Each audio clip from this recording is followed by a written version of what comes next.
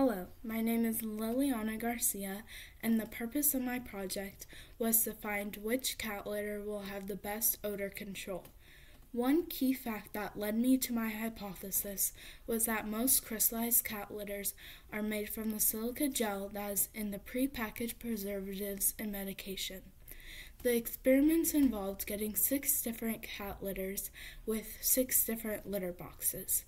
Once I got all the supplies, I would set each litter box in my house in different locations.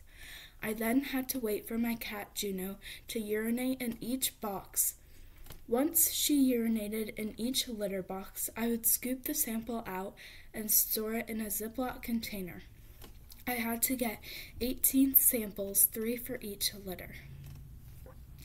I then took all the samples to school and had different people smell the litter.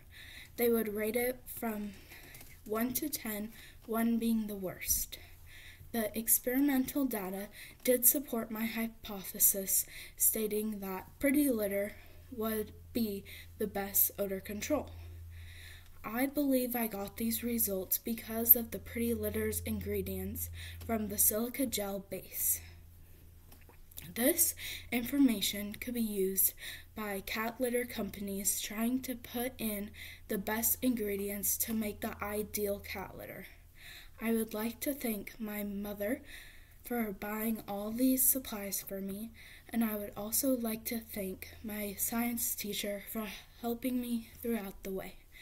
I would also like to give a big shout out to all the people who were willing to smell each litter.